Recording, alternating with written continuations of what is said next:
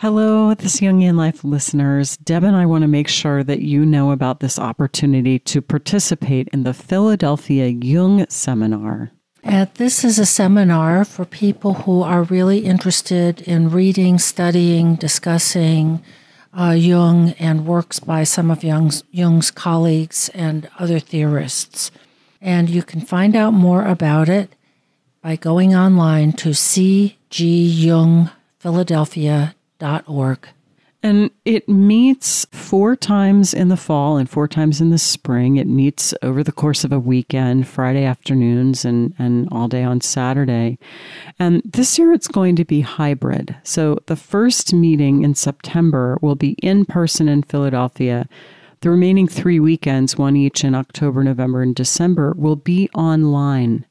And in the spring, the meetings in February, March, and April will be online, and the final meeting in May will be in Philadelphia. So if you're a little further afield and you still want to participate, this might be a great opportunity to do so because the travel will be minimal. Yes. And the syllabus this year is carrying the theme of Jung's travels. So it is a particularly varied uh, syllabus that includes things like uh, yoga and uh, some of the themes from far afield eh, with a really stellar list of presenters. And it too is online. You can take a look at it and get the um, instructions for applying at cgjungphiladelphia.org. So we, we hope to see some of you there. Deb and I ran it together for many years, and we're occasionally presenters ourselves. Um, and we're certainly in the background supporting it. So I hope I hope we'll see some of you there. Welcome to this Jungian life Three good friends and Jungian analysts, Lisa Marciano, Deborah Stewart, and Joseph Lee, invite you to join them for an intimate and honest conversation that brings a psychological perspective to important issues of the day. I'm Lisa Marciano, and I'm a Jungian analyst in Philadelphia. I'm Joseph Lee, and I'm a Jungian analyst in Virginia Beach, Virginia. I'm Deborah Stewart, a Jungian analyst on Cape Cod. Today, we are going to talk about compartmentalization, uh, the way in which we all establish kind of categories like work life and home life, all kinds of chores, relationships, and how does it or does it relate to kind of dissociative experiences? How does it relate to being of two minds about something? How might it relate to denial that I kind of know something, but I don't really want to know something? And how might it even relate to something as powerful as hypocrisy, the thing we certainly don't want to be? But here we are with our uh, the dissociative nature, according to Jung, of, of the psyche uh, that we do have these different compartments, different areas of consciousness, and we're going to walk around it and explore it. It strikes me that compartmentalization is so ubiquitous that often we don't even see it, or perhaps don't even bring attention to it. That we seem to believe one thing really passionately when we're at work, and then when we're out with our friends having a couple of beers, we'll you know, vociferously champion the opposite idea and feel equally passionate in both environments. People are at church and they're really focused on virtue and their alignment with virtue, and then then they go home, and a couple days later they're doing something uh, a bit shady, and they're aware, you know, that both mm-hmm. of these values are in them, and somehow as human beings we have this way, kind of moving between these opposites and on a certain level knowing that we're doing it. Mm-hmm. Right. And that's, you know, one of the things maybe that d- differentiates compartmentalization from from something that looks more dissociative is that we're sort of holding both things in awareness at the same time, but they're kind of opposites. I mean, I think it's a fascinating topic and there's lots of places to go, but I almost want to start off by just saying, hey, look, we're complicated. it's really complicated being human. And not to expect ourselves to be too consistent. You know, what did was it Walt Whitman who who talked about uh, consistency is the hobgoblin of little minds, mm-hmm. and and who said, uh, you know, I am I am a multitude. So we we are we are just complicated, and there are going to be contradictions that exist within each of us. Now he said, "Do I contradict myself?" Uh, well, then I contradict myself. Mm-hmm. Yes. Uh, so for sure, uh, we are complicated. And for sure, we have different self states, uh, including complexes that can kind of take us over, and including the various aspects of our persona um, that, just as Joseph, you mentioned, I mean, we present a different side of ourselves, you know, having TGIF drinks with our friends uh, than we do in the office. Yeah, I, and I think the impulse to be too consistent can lead to a kind of fanaticism. Some tolerance for inconsistency is is perhaps uh, you know holding our eye, arms wide enough to embrace all of us is perhaps the attitude I want to start off with. I might even say that if we hold ourselves too rigidly, and we veer into a kind of fanaticism is then what happens to shadow? Uh, then we've we haven't embraced ourselves. We've simply excluded parts of ourselves and relegated them to the unconscious as if they don't exist and i think there's an enormous bizarre pressure for absolute continuity.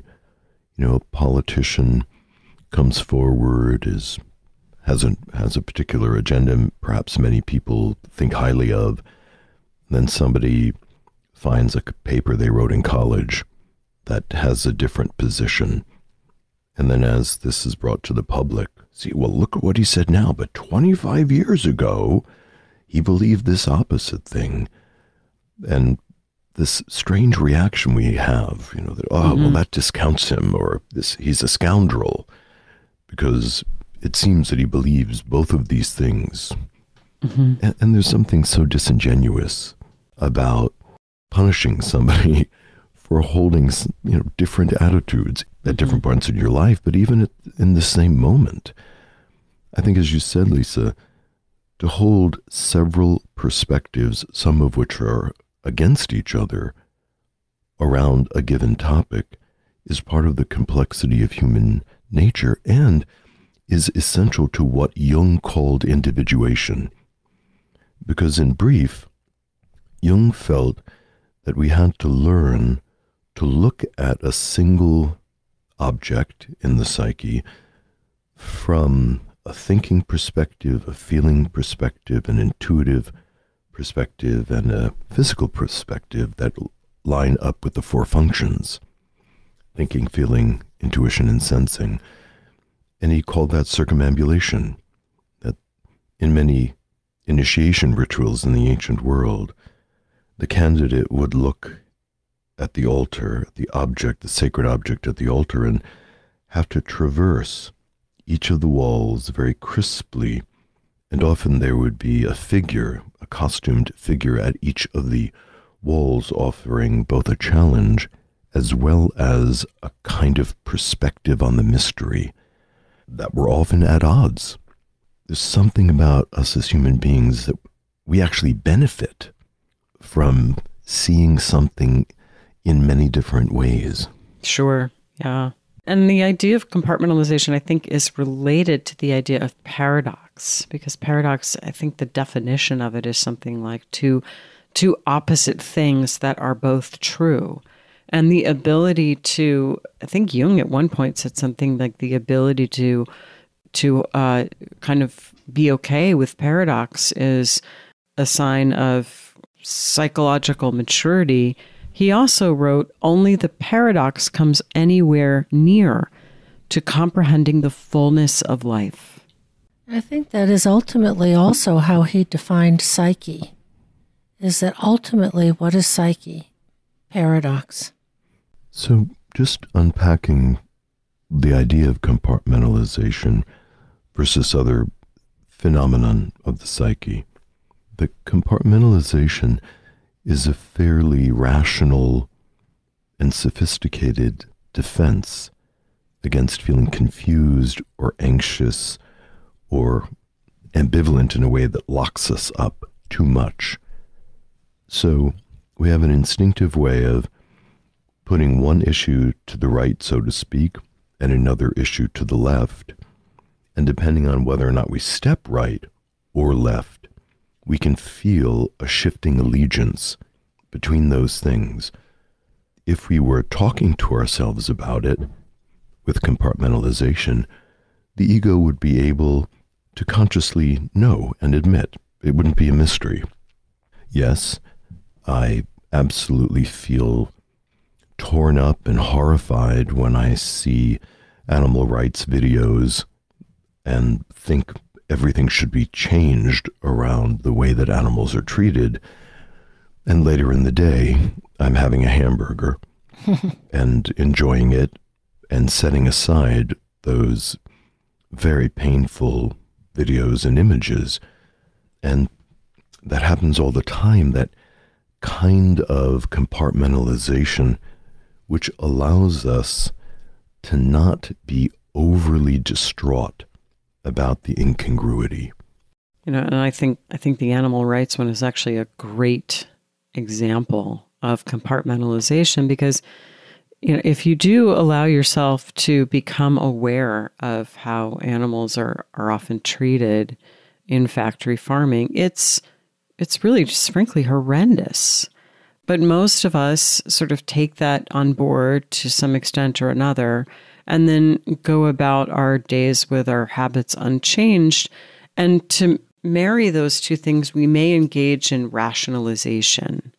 So we tell ourselves that, uh, you know, that probably farms, you know, most farms are more humane or that uh, you know it would be impossible for us to stop eating meat it's a requirement i mean i, I struggle with this too because i I've, I've been a vegetarian since i was very young but I, i've recently become kind of more concerned about animal welfare and and i would like to move toward veganism but i just cannot give up greek yogurt. It's just too good.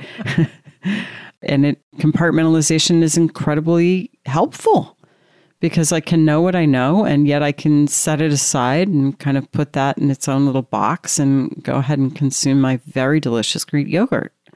I'm thinking about um, how and to what extent it, it's a question of degree. Mm.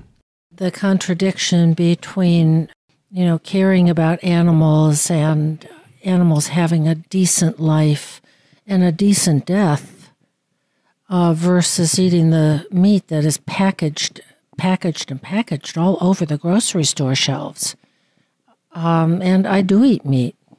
Versus knowing, for example, uh, that somebody that we know uh, who is upright and decent and has, you know, status in the community is also doing something heinous in his private life. Uh, let's say uh, child abuse, or you know, some recent cases have had it. You know, even something like uh, trafficking. And uh, where is that tipping point inside of where it becomes? How do we decide when it's intolerable, when it is too great a transgression to be compartmentalized? I don't know that there's an answer to that the way I phrased it, that, uh, but that there is a place where it becomes a matter of conscience. Well, I have another example, which is climate change. Mm. I mean, if, if you if you read the news reports about what the scientists are saying, it's it's really really grim and frightening. And, you know, I, I do a little bit here and there, what I can to sort of reduce my carbon footprint. But I suppose if I were really going to take on board the magnitude of what I'm reading about, I would, I don't know, I'd go off the grid. I mean, th- there's a sense of how overwhelming the problem is, and sort of no matter what I do, it's not going to make that big a difference. So my most recent vehicle vehicle purchase, I got a you know a hybrid vehicle. That's like okay, but mostly I continue to live my life as as I always have, and I'm I'm just kind of constantly aware there's some kind of uh, cognitive dissonance or friction around that. That what the way we're all living is not sustainable. So there there's that compartmentalization. You know, I can sort of take on board that uh, you know we're in a really dire situation as a species, and yet I still traveled to Europe recently. This lifts up my idea that it's a spectrum. I like that phrase of cognitive dissonance of like, well, this, these two things don't quite go together, but the implication in cognitive dis- dissonance is, well, it's not that big a deal. Uh, versus something that is intolerable and heinous and and wrong. And I guess my point is why isn't climate change intolerable and wrong? Because the scope of it can't even be imagined. So you're you're talking about trafficking or something. Mm-hmm. I mean, in some sense, I think what's happening to the planet is, you know, sort of beyond our ability even to take in.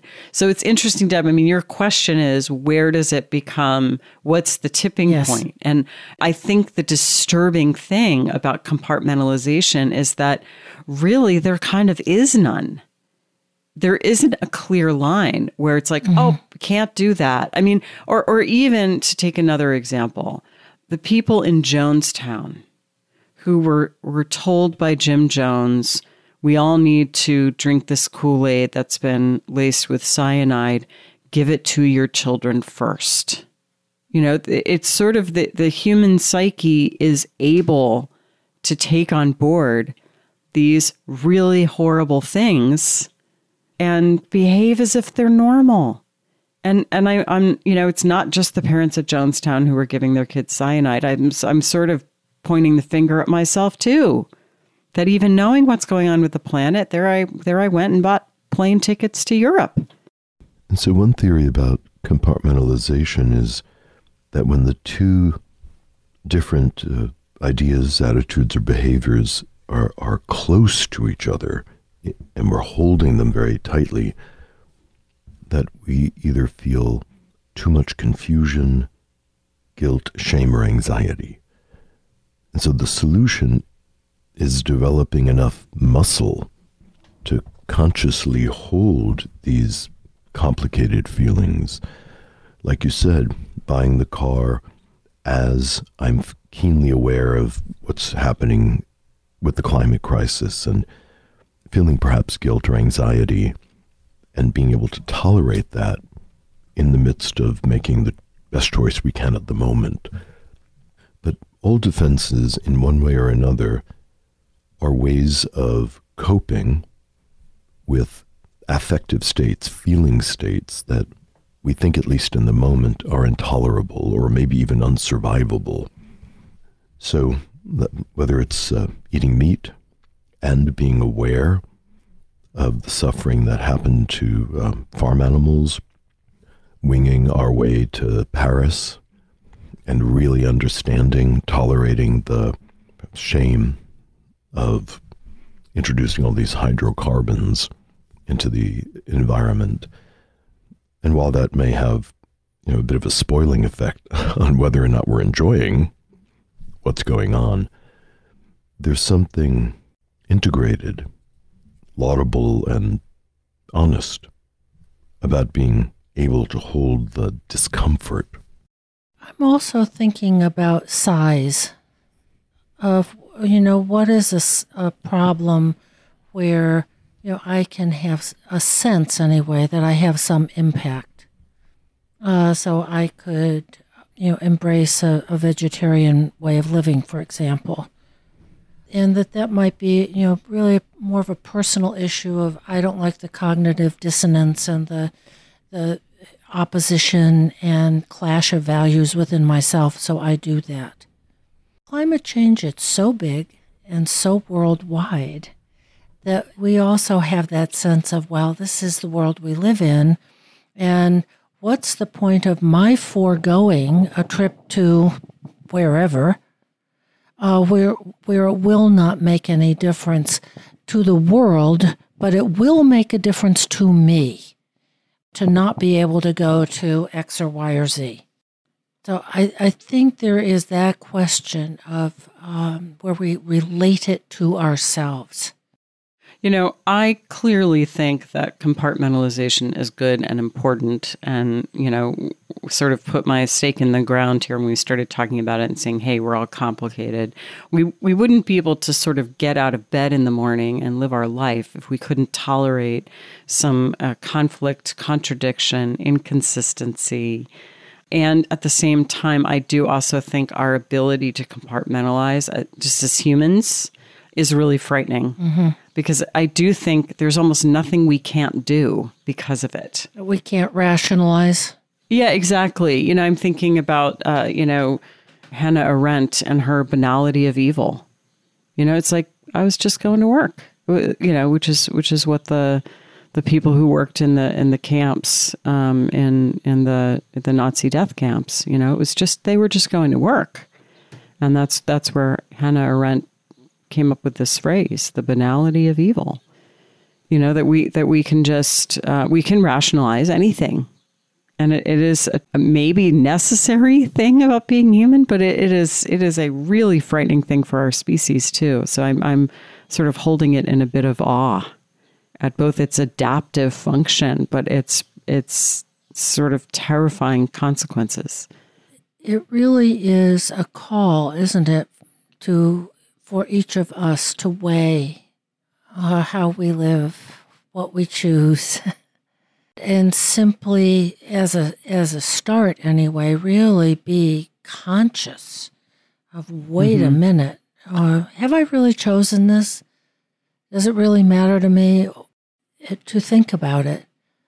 But I also want to go uh, in a different direction because you know, we've all worked with people, and probably everyone knows someone. I think we've all experienced ourselves what happens when we can't compartmentalize, when we get obsessive about something. Uh, you know, a person who can't leave the house without checking the locks half a dozen times or more. Intrusive thoughts about, you know, for example, the thing that a person in his 60s or 70s is plagued by some unkind or unwitting thing he did in high school that it continues to come up uh, on and off, and that there's a failure there of the ability to compartmentalize, to put, set it aside, not only for just for daily functioning, but for some equanimity and peace of mind as a person goes about his or her day. Yeah, it would be absolutely paralyzing. And it can be in, in extreme cases. And the task is often, uh, you know, how to compartmentalize, how to how to help someone learn how to do that, how to how to change the channel, as it were, from this intrusive thought uh, to something else to think about, to do, to focus on, how to step in and step out of a of a troubling situation or uh, you know a preoccupying subject or thought. And do you have thoughts about how people can change the channel? Well, uh, the thoughts that I have are I, I, think changing the channel is a good image, and I think the stepping in and stepping out. But uh, sometimes physical movement can help. Of go out and take a walk, uh, talk to somebody, engage in an activity that that the person finds interesting or engrossing or something that really uh, requires attention. Uh, so it's really a practice of where and how do we direct our attention, and we're directing our attention all the time, every day, somewhere. And uh, so, in, a way, it's a process of paying attention to how we pay attention, and, and how do we operate that system a little better. The other place I think where compartmentalization is inadequate is is when someone is really dissociative. You know, when the contradiction is not in consciousness. And in both of these cases that I'm uh, offering here as examples, it's the it's when the unconscious kind of takes over consciousness. It can go both ways. Consciousness can be overly rigid and in denial or dissonant or a hundred things. At the same time, the unconscious can sometimes, like the Nile, sort of flood the banks of the ego and take over. You know, we have seen people sometimes. Uh, when we lived in New York, there were people on the street who were clearly dissociative in a different world and talking about something that was entirely unrelated uh, to being on a street in Brooklyn. Well, it may be that dissociation is a is on that spectrum of defenses that get some kind of psychic material away from us. Because when it's close, we at least believe it's intolerable. So whether it's on a very common level where we simply tolerate believing in fundamentally incongruent things, all the way to the person who's disabled because they've unconsciously abandoned many aspects of reality in favor of a some kind of unconscious constructed fantasy because so much of reality is intolerable to the person. I think in all the examples, there's a cost.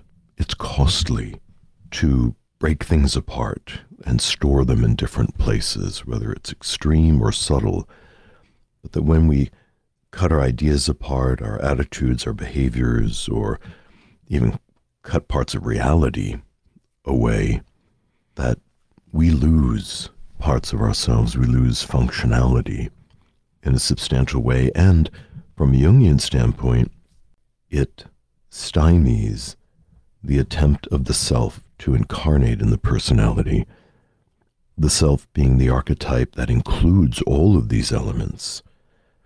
So, anytime we move away from including the paradox towards chopping things up and living in the chopped up space, we've made it that much harder for the archetype of wholeness to descend. I really like how you put it of what is the cost? Because one way or another, consciously, unconsciously, we've we've made a choice, and there's there's a cost.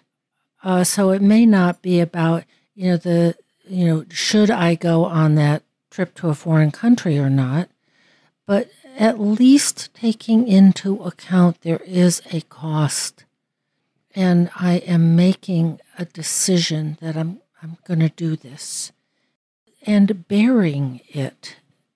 I am adding to the carbon footprint.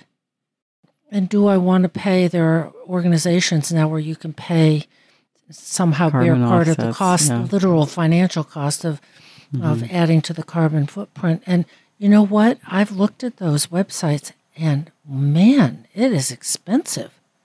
It's not an extra 50. dollars It's mm-hmm. hundreds of dollars. Mm-hmm. But how do we take into our consideration what is the cost and how, what am I going to really do about it? Mm-hmm. And when we at least consider, if not integrate the cost, there's a possibility that the ego is both matured and tempered because there's something about cutting things into pieces that tends to inflate the ego when it swings from the polarities. So we see the preacher on the pulpit really aligned with his or her concepts of virtue and is fantasizing or presenting themselves as the embodiment of a long list of virtues and feeling rather big and luminous and really lambasting people, and then conversely, being home and in private, and perhaps participating in some kind of strange and destructive erotic life, and feeling secretly exalted, overwhelmed, possessed by whatever mm-hmm. this other part of the life is. And when these two things are brought together, creates a lot of heat. It might create a lot of suffering. And one of the things is the bottom falls out of the ego's arrogance. and suddenly we're we're like in the mud with everyone else, mm-hmm. just you know trying to pull our feet out of the swamp so we can take a step. It's very hard to be lordly.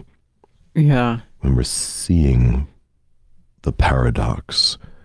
You know, and I think you're you're leaning into the realm of shadow, Joseph. And the thing is that when we cut off our knowledge of the shadowy parts of ourselves, then we're likely to project those out onto the world and say, okay, well, I, that's not me. I'm not doing anything wrong.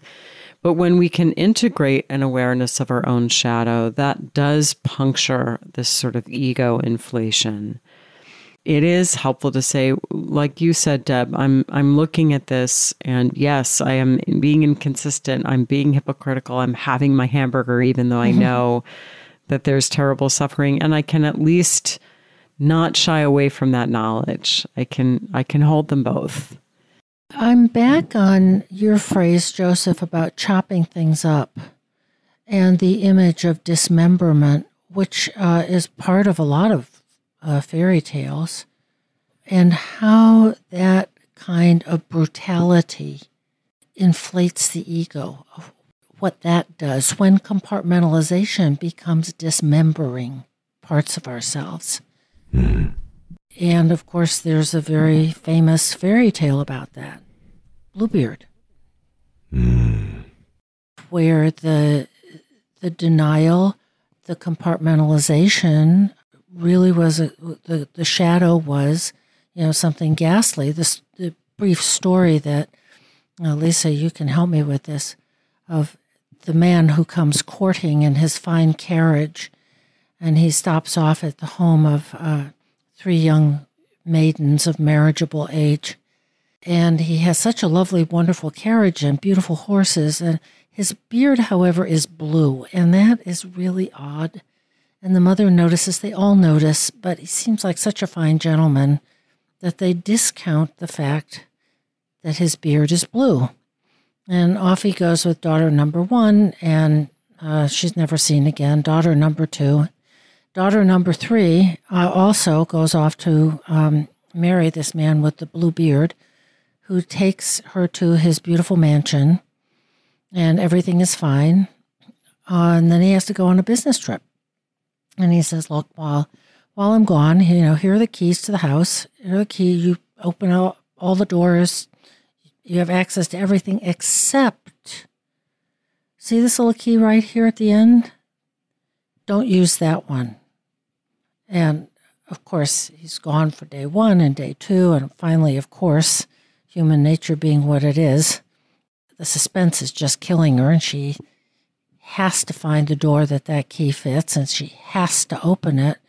And when she does, she sees inside the room this giant basin and the bodies of other dead women, including her sisters, and blood and gore and body parts all over the place. And of course, the tale ends happily ever after. Sometimes her brothers come to rescue her. Sometimes she disguises herself and uses trickery to get away. But it's a really gory tale about what can happen when compartmentalization goes too far and we wind up chopping ourselves into pieces. Well, and it also, I mean, it, it shows up in a couple of ways. First of all, in this, which you alluded to, you know, it's like, well, he's got a blue beard, but we're going to ignore that because he's really wealthy, yes. which we do this kind mm-hmm. of thing. It's like, well, you know, the, the trip to Europe is going to not be good for the climate, but I really, really want to go see all these fabulous things, you know, and it'll be fun. Just to use an example, but but all of us have have things that we do like that. And and also then this image of what's in the room that we don't want to know about. We both are ineluctably drawn to open that room but in a, a part of us it's like that i'm going to seal that room off. That's going to be something i just don't think about. Mm-hmm. you know so it's like so what do we seal off? What don't we what questions don't we ask? And one of the examples that comes to my mind is um, I, I listened to this interview with Sue Klebold, who is the mother of Dylan Klebold, who was one of the shooters at the Columbine massacre that took place in 1999 in Colorado in the US. And I think at that at that time it was the the worst uh, school shooting to date, if I'm not mistaken. And um, Sue Klebold has written a book about it. It's called A Mother's Reckoning, and I, I really recommend the book. It's a, it's a great book. But she tells the story about Eric Harris was the other was the other kid that that he was the kind of mastermind who sort of led her son down this road, uh, at least according to her. And most of the time, the boys uh, spent time at Eric's house. But one night, Eric Harris came over to spend the night, and he brought a huge duffel bag, which um, Sue, I think, just sort of assumed maybe was recording equipment or something. And the boys took the duffel bag down to the basement and made there what later became known as these famous basement tapes, where they recorded themselves talking about what they were going to do.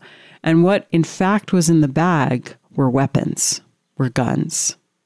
And uh, Sue said something on the Terry Gross interview that I listened to. Like, what? You know, I didn't ask to look in the bag. And I just found myself really struck by that. Like, what would have happened if she had said, Eric, let me see what's in the bag? What would have happened if they had asked to see what was in the bag? But in some sense, you know, in a very kind of human, forgivable way, she didn't want to know. She didn't want to know. I mean, one of the one of the points about her book is like you can be a really good parent and really not know things about your kid, which I I give credence to that, you know? I mean, we're not omniscient. But it but what, where do we each, everyone, all of us choose to ignore certain things? Choose to not open the bag. I think we all do it. And and I think it's it's a little bit of that bluebeard. What do we lock away and not want to know about? And that's another example, I think, of compartmentalization. That again, does it always have disastrous consequences? Absolutely not. Does it allow us to get on with our day? Yes. Does it sometimes have shockingly horrible consequences? Yes. It takes me back to what you said uh, at the outset, Lisa, that we are complicated. Yeah. Life is complicated. Uh, we can't pay attention to everything, can't be conscious of, of everything, but perhaps we can be more conscious of what we're choosing and more conscious of what are we doing with our attention? What are we paying attention to? And what are we not paying attention to? Now, I, for example, pay no attention whatsoever, ever to any social media. I don't, that's just, I don't do it. Now, the question that comes up in my mind in this context is, you know, am I consciously directing my attention to things that really matter? Or am I compartmentalizing in a way that could kind of come back to bite me of something that's going on out there that I could only access on Twitter or Facebook or Instagram or something like that? Um, that I'm not even going to know about. But I, so I think it just becomes a pretty thorny issue of how do we manage our attention. And maybe with that, we change our attention and focus it on a dream. Did you know your dreams reveal the wisdom of your guiding self? Dreams connect us to the secret world within and remind us that we're never alone. We're always accompanied by our inner companion who offers healing, balance, insight, and guidance as we make key decisions. At 28, Charles felt lost and isolated. He had a dream that touched him deeply. As he worked with the dream in Dream School, he understood that it was showing him how he was profoundly connected to life this powerful insight led him to make real progress with his goals. During Dream School's 12 month transformational program, you'll learn to harness the power of your unconscious wisdom, decode the language of metaphor and symbol, discover mythological motifs that shape your life, reveal unknown facets of your personality, unlock the door to inner wisdom. To enroll, just go to interpretmydream.net and sign up today to gain immediate access to the first three Dream School modules. Your best life awaits you at Dream School, and we can't wait to see you there.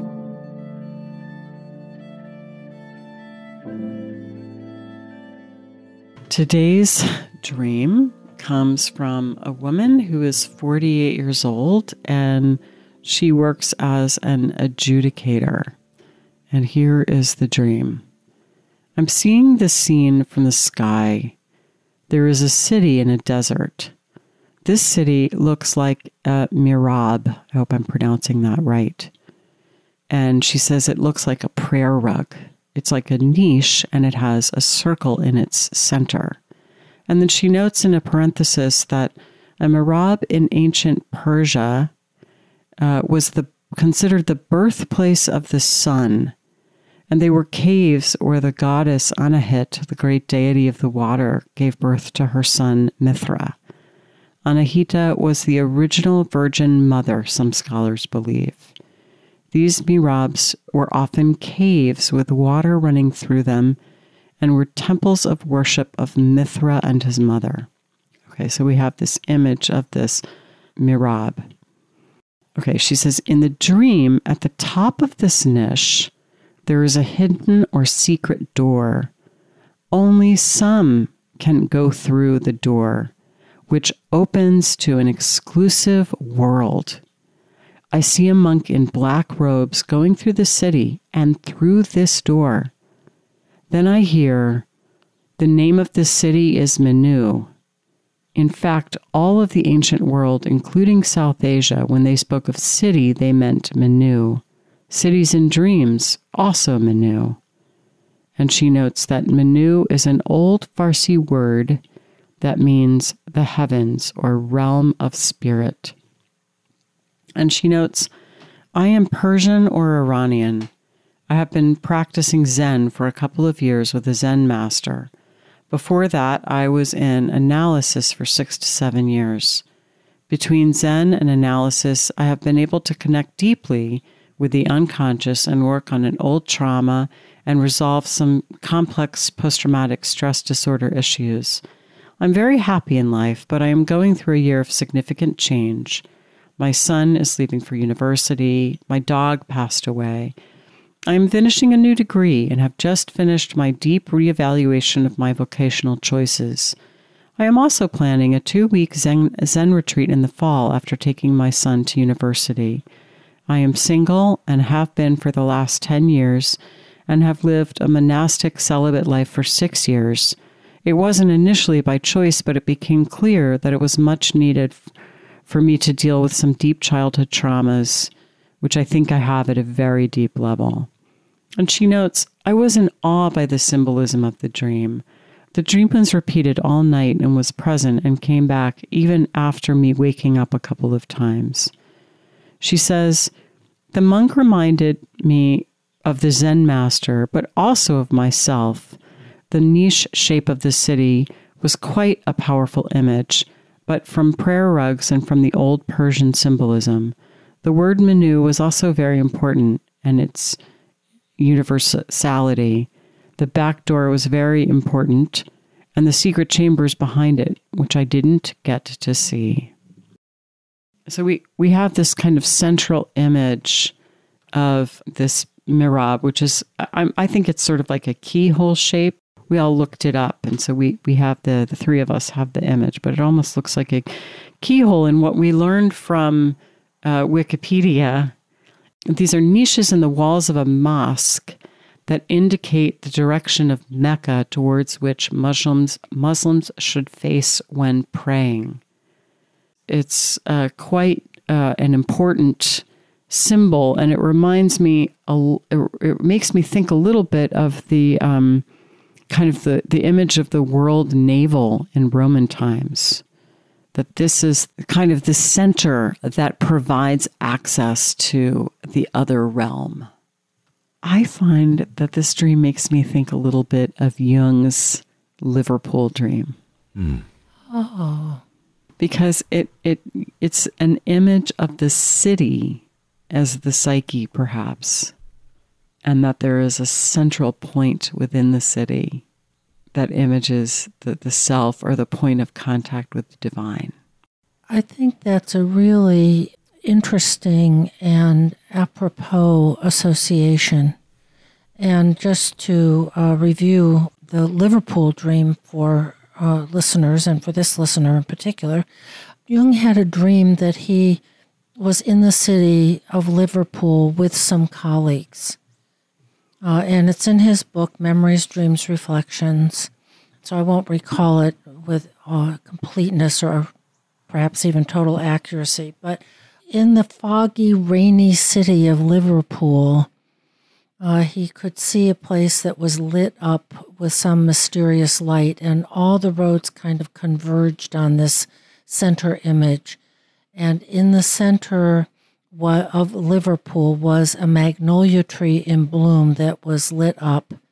And one of his companions said, Oh my goodness, I don't know why anybody would ever live here. And uh, Jung in the dream thought, I know very well uh, why they're here. And he took from that, after his years of uh, his confrontation with the unconscious, um, he took from that that the center is the goal and everything is directed through this to, toward the center and the principle of the self with a capital S, that place of, of wholeness that is both indwelling and transcendent and mysterious. And I think all of us looked up what a mihrab is on Wikipedia, and it's very magical. It's shaped like a keyhole, and you can Google it. It's very ornate. Um, and it's a threshold. It's a doorway that mm, that that's a great that word. Joins, uh, connects, and both connects and separates the realms. And we might say the realms of you know matter and spirit, ego and the unconscious, and that here is the monk, uh, the figure, the image, the symbol of what can traverse the realms, what can go have access to both sides. Uh, interestingly, for me, the dreamer is seeing this scene from the sky, and there is a city in a desert, and that's the place that I think reminds reminded you of of Jung's Liverpool dream of something transcendent and beautiful in what was otherwise a, an unappealing surround, the foggy, rainy city of Liverpool or a desert. And oftentimes, when people see something from on high or people dream that they're watching something on a television set or as a movie or theater performance. It's something that is coming more closely into consciousness. Yeah, but there is a kind of remove from yes. it. And and for me with the streamer, you know, she mentions um, complex PTSD. And a lot of times when we have trauma, one of the ways we deal with it is by kind of holding it somewhat aloof. We might compartmentalize or or intellectualize. And and I do think that Zen practice is as rich a tradition as that is, it does help us to do just that. It helps us to keep things a little bit at a distance. She is, you know, kind of somewhat above this scene. Um, so, so I think both senses are there that it's kind of coming into focus more. Clearly, you know, she mentions that this is a time of real change for her and real transformation. And it, it is, Deb, Deb, I loved your word threshold because this dream kind of shows a threshold experience. Mm-hmm. I'm drawn to the tension between being Farsi, whose ancient roots are in Zoroastrianism, and the Islamic uh, niche or mihrab. And this is an ancient tension that the Arabic world invaded Iran in ancient times and changed the culture, making it more uh, Arabian and more Muslim. But the underlying strata is much more ancient. Zoroastrianism is a primal religion that has to do with light and the polarity of goodness and evil and how that's resolved. Their deity, Mithra. So I'm wondering if it's speaking in some way to the role of Zen Buddhism in resolving the tension between Zoroastrianism and Islamic uh, religion, which I think and I could imagine play out on an unconscious level. And that as she views this from above, because the scene is from the sky, the benefit of her Zen practice is to become highly objective and observant. And when she rises high enough in her objectivity, she can see these ancient interplays, and she's able to find the secret door at the top of this, where the Zen monk, or this particular kind of objective attitude, is able to bring her into, I think, a resolution of the tension between these values. The word Minoo is uh, a female Persian name, and as she says, it means heaven or the realm of spirit.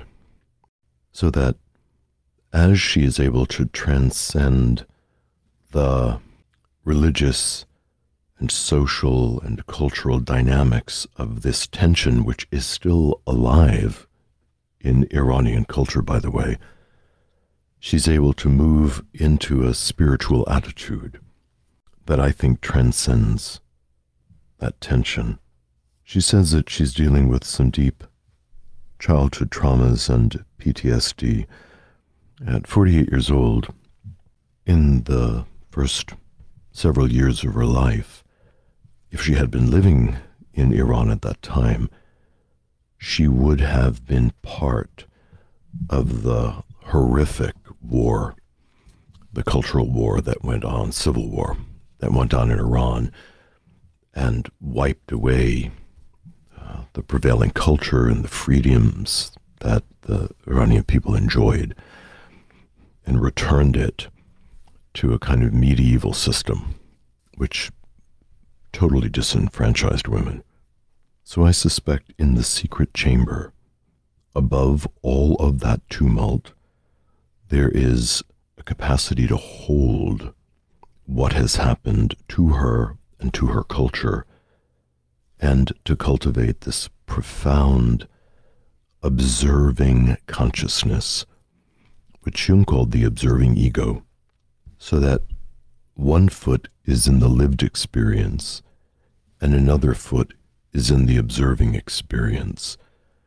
And the interplay of those two dynamics, I would hope, and perhaps the dream is integrating, or excuse me, is indicating that this is a possible attitude. And Joseph, I think you're you're really onto something there, and I think that maybe helps explain the very big archetypal symbols in the dream. That when there's been that depth of trauma, sometimes the psyche really leans right into these huge universal symbols because it takes that to contain that kind of experience. And in this context, um, Donald Kalsched, K A L S C H E D, has written a book called The Soul and Trauma, and he's a Jungian who's noted uh, for his work with trauma. Uh, that both, uh, uh and that this dream honors exactly what you're talking about of there's soul and trauma. Yes, I think I think we're left somewhat in awe of the dream and its symbols, just as the dreamer was. So, so maybe it's just right to say thank you. You've been listening to This Jungian Life. From our website, thisjungianlife.com, you can follow us on Twitter, like us on Facebook, Help us produce future episodes by funding us through Patreon and submit your dreams for possible interpretation on another episode. We'd like to thank our listener who shared a dream for today's show and hope you'll let us know what topics you'd enjoy hearing more about. Until next time, keep living this Jungian life.